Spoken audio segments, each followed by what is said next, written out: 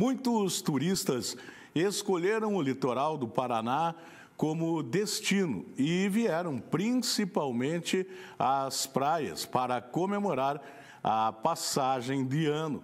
Com a virada ontem, as estradas do litoral registraram um grande movimento de retorno. Para muitos, as férias chegaram ao fim. Ou, após a passagem de 2023 para 2024, é hora de voltar ao trabalho e à rotina. Consequentemente, o litoral encontra-se com suas estradas cheias. No primeiro dia do ano novo, esta foi a realidade da PR-407, estrada que dá acesso a Pontal do Paraná.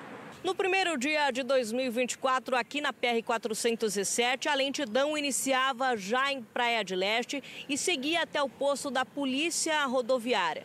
A partir daqui, o trânsito ganhava uma fluidez. Apesar disso, esta é a tendência dos próximos dias. Afinal, é um momento de volta de muitos do período de feriado.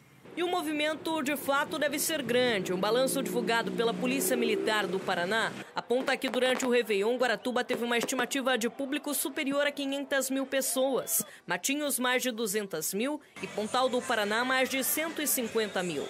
Neste mesmo documento, a PM informou que até o próximo dia 3, o horário de pico deve ser concentrado entre as duas da tarde até as 8 da noite. Durante os últimos dias, o litoral registrou algumas ocorrências. Somente no dia 31, foram 15 acidentes na Serra do Mar, além de infrações relacionadas principalmente à falta do uso de capacete, cinto de segurança, cadeirinha, velocidade e ultrapassagem.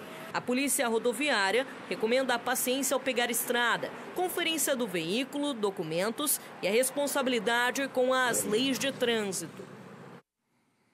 Muito bem, tá aí mais uma informação importante para você.